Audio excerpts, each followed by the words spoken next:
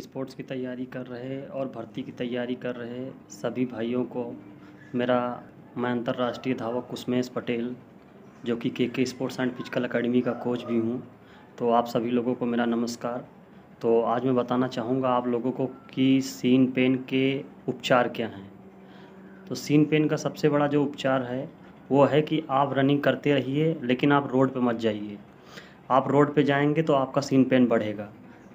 आप किसी grass ground पे या कच्ची ज़मीन पे आप रनिंग करते रहिए और बर्फ़ से दिन में दो बार सिकाई करते रहिए।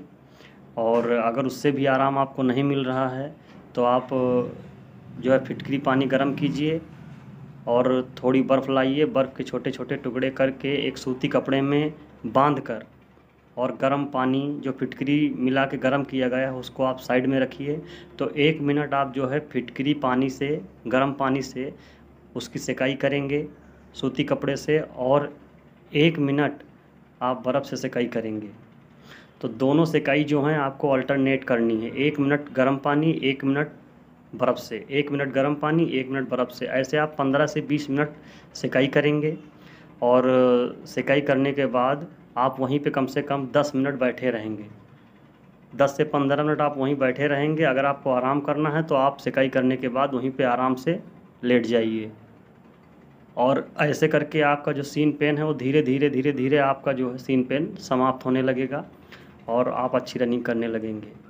तो आगे आने वाली वीडियो में हमारे ये होगा कि सीन पेन के लिए कौन सी स्ट्रेचिंग है, कौन सी एक्सरसाइज है। तो इसको आप अच्छे से ज़रूर देखिएगा और हमारे चैनल को अगर आप सब्सक्राइब और नहीं किए हैं तो सब्सक्राइब और लाइक कीजिए ताकि आप आगे का वीडियो हमारा देख सकें।